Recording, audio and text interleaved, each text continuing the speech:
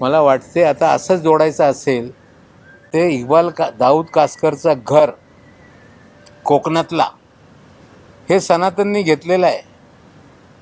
मग सनातनचा दाऊदचा संबंध हे सांगावा काय? राष्ट्रवादीचे नेते नवाब मलिक गेले काही दिवस चर्चेत आहेत. Aryan Khan N C B Sameer Wankhede Kranti Redkar आणि भाजपवर आरोप करून खळबळ माजवणाऱ्या मलिकांनी आज पत्रकार परिषद घेतली आणि अनेक धक्कादायक वक्तव्य केली.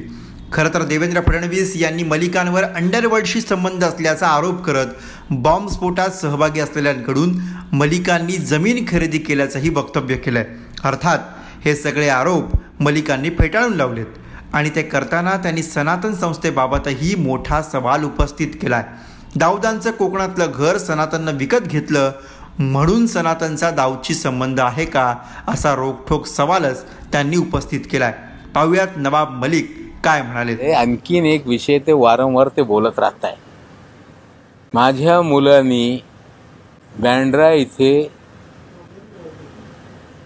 नवेद मोहम्मद अली आणि त्याची बहीण त्याच्याकडून घर घेतला साडेचार कोटी रुपयाचा.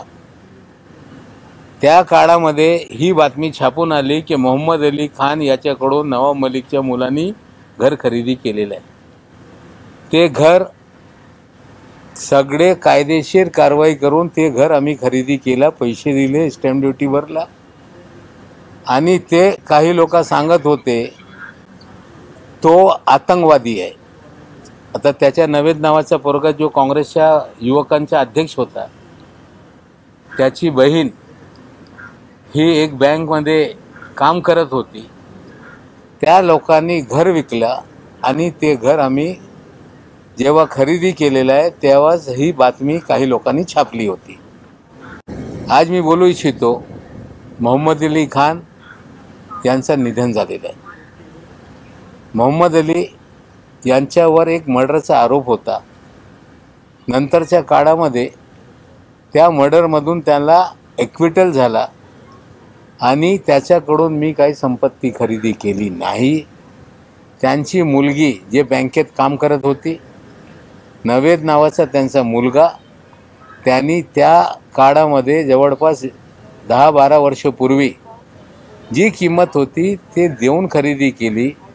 त्या कुठल्याही त्याच्यावर अटॅचमेंट किंवा कुठल्याही त्याच्यावर असं काही नसताना नुसता अंडरवर्डशी माझा संबंध जोडणं मला वाटते आता असंच जोडायचं असेल ते इक्बाल का दाऊद कासकरचं घर कोकणातला. हे सनातननी घेतलेलं आहे. मग सनातनचा दाऊदचा संबंध हे सांगावा काय? नवाब मलिक यांनी केलेल्या आरोपांनंतर सनातन संस्थेनेही तातडीनं स्पष्टीकरण दिले पाहुयात सनातन संस्थेनं नेमकं काय म्हटलंय.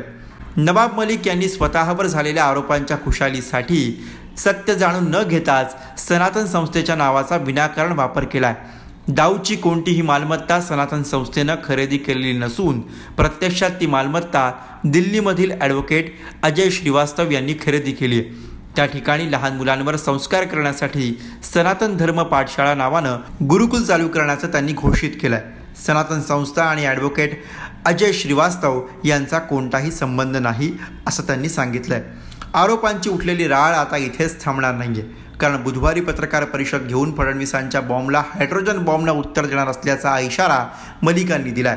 त्यामुळे आता हा आरोप प्रत्यारोपांचा धुरळा किती उडणार याकडे सगळ्यांचं लक्ष लागलं आहे या व्हिडिओवर तुमची प्रतिक्रिया कमेंट बॉक्समध्ये लिहा. ताज्या बातम्या आणि घडामोडींसाठी लोकमतचं यूट्यूब चॅनल सबस्क्राईब करा. जर हा व्हिडिओ फेसबुकवर बघत असाल तर आमचं फेसबुक पेज लाईक करा. तुमचं मत लिहून हा व्हिडिओ शेअर करायला विसरू नका.